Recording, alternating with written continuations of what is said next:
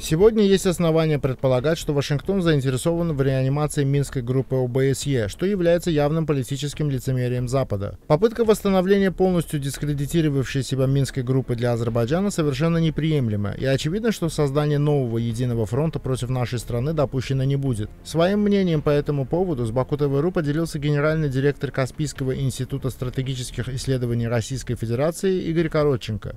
Реанимация Минской группы ОБСЕ в современных условиях это не просто шаг назад, это фактор, который будет крайне негативно влиять на весь трек переговорного процесса по урегулированию отношений между Баку и Ереваном и на подписание мирного договора между Азербайджаном и Арменией. Мы знаем, что в предшествующий период за несколько десятилетий существования Минской группы ОБСЕ она не проявила себя абсолютно ничем. Более того, под прикрытием этого формата Армения фактически продолжала удерживать оккупированные азербайджанские территории и не помышляла о каких-либо реальных шагах по э, урегулированию конфликта. Фактически Минская группа ОБСЕ занималась все годы своего существования военно-дипломатическим туризмом разъезжали э, бизнес-классом, соответственно, и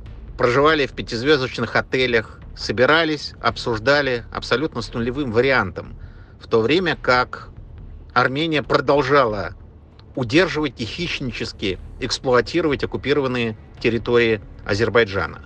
Поэтому сейчас, когда наметился реальный прогресс, когда официальный Ереван в лице премьер-министра Никола Пашиняна признала территориальную целостность Азербайджана, признала, что Карабах это есть неотъемлемая часть Азербайджана, формат Минской группы ОБСЕ в том или ином виде, это будет троянский конь Соединенных Штатов Америки, цели и задачи которого по-прежнему сохранить экспансионистские планы режима в Ереване и максимально затруднить, а в идеале и сорвать подписание мирного договора на условиях тех пяти базовых принципов, которые были предложены а, президентом Азербайджана Ильхамом Алиевым.